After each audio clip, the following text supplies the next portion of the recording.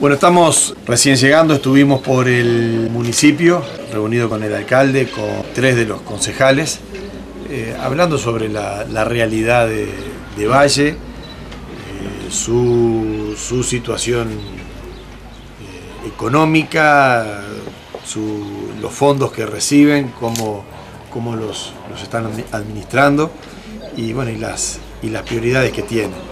Y ahora vamos a iniciar una ronda de, de reuniones con diferentes instituciones de aquí de, la villa para ver cuáles son un poco las inquietudes. Hoy el motivo de nuestra visita justamente eh, somos dos legisladores del Partido Nacional, del sector todo de la calle Pou, que estamos viniendo a cuatro años de las elecciones, no a hablar nosotros ni a pedir el voto, sino que estamos viniendo a escuchar a, los, a los vecinos de las distintas localidades del interior.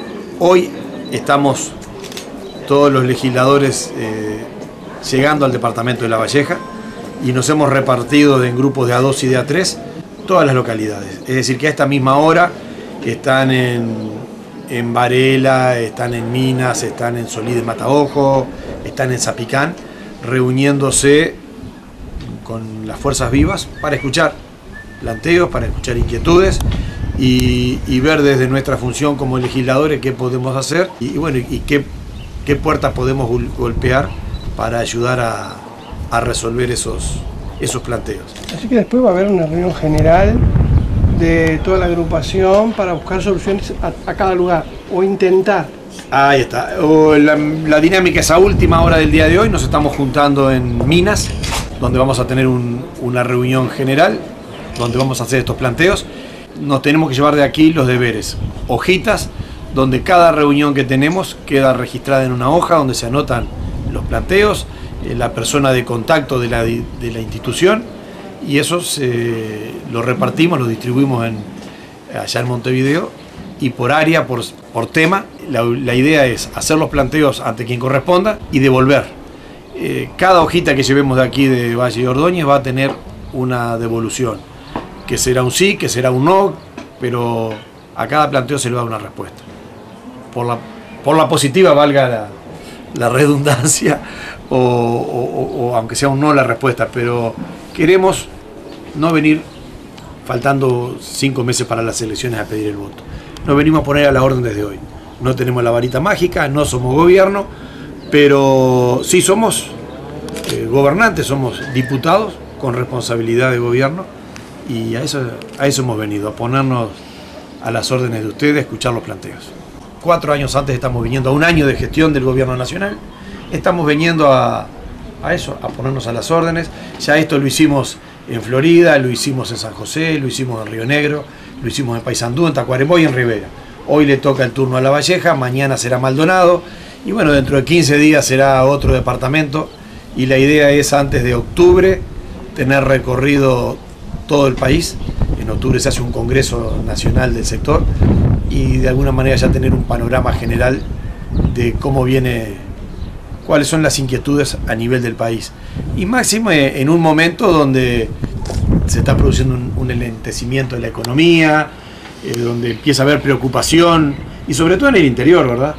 Por la disminución de la agricultura, por algunas fuentes de empleo que se han cerrado o han disminuido.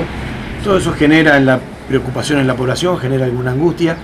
Y bueno, nosotros queremos estar viendo un panorama general de la situación del país para ver en qué podemos colaborar desde la oposición. Eh, ser oposición no significa oponerse a todo lo que hace el gobierno. Ser oposición significa trabajar, no tener la responsabilidad de encabezar esto. Pero sí tenemos la responsabilidad de, no deshinchar del carro, pero sí de empujarlo. Entonces, como representantes de la oposición que somos, vamos a escuchar, habrá planteos que se harán en el Parlamento, de lo que surja aquí, habrá planteos que se harán ante los diferentes, ante las diferentes empresas públicas, este, y, y la idea es esa, escuchar, plantear y devolver una respuesta. ¿Usted tiene una idea de la noticia que nos llegó a nosotros hace un par de días del cierre del Banco República y abrir solo, solo unos días. Eh, ¿Qué opinión le merece eso? Bueno, eh, el lunes estuve reunido en Durazno, yo soy diputado por Durazno, estuve reunido en Villa del Carmen porque Villa del Carmen y Cerro Chato son dos de las localidades del departamento de Durazno donde el Banco República va a abrir tres veces. Ya Durazno sufrió el año pasado en La Paloma, el Banco República de la, de la Paloma abre tres veces por semana y probablemente a partir del año que viene habla dos veces por semana.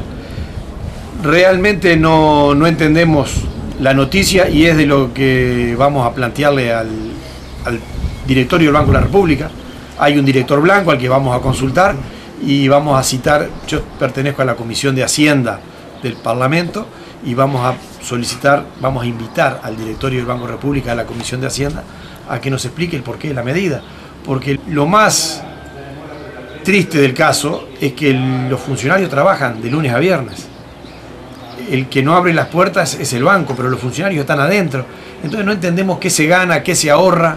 Ahora, si el ahorro es ahorrarnos cuatro horas de un servicio 222, yo creo que no, no pasa por ahí cuando le estamos reclamando al gobierno y hemos participado como oposición de un diálogo para buscar eh, soluciones a la inseguridad que se está viviendo en el país. Mientras se está dialogando por la seguridad, por un lado se cierran bancos y de alguna manera cerrar bancos es que comerciantes queden con el dinero en sus negocios o en sus casas y de alguna manera quita seguridad. Porque nos decían en Villa del Carmen que el hecho de que hubiera servicio 222 de lunes a viernes en el banco era una seguridad para, la villa, porque había una guardia de policía ahí y era una seguridad. Hoy ese servicio va a estar, eh, martes y jueves no va a estar. Entonces queremos, antes de emitir un juicio, queremos escuchar a las autoridades bancarias, pero eh, en principio nos parece un poco caprichoso. Por la baja actividad, pero si queremos desarrollar un país, si apostamos a la descentralización, yo, yo le haría la siguiente pregunta al presidente del Banco de la República. En un país que quiere ser productivo, y la producción no se produce en la ciudad vieja ni en el puerto de Montevideo, la producción se produce acá, en el campo. La riqueza nacional no, es, no la produce Montevideo. Montevideo industrializa la riqueza que producimos en el interior. Entonces, estamos apostando a un país productivo. Y, el gran desarrollo que ha tenido el país en estos últimos 10 años, ¿de la mano de qué ha sido? Y ha sido de la ganadería, de la agricultura, de la forestación, de lo que producimos en el interior. Entonces nos cierran un banco. ¿Cómo pretendemos que se radiquen industrias en el interior? que se generen oportunidades cuando lo que hacemos es, en vez de igualar las oportunidades, las desigualamos.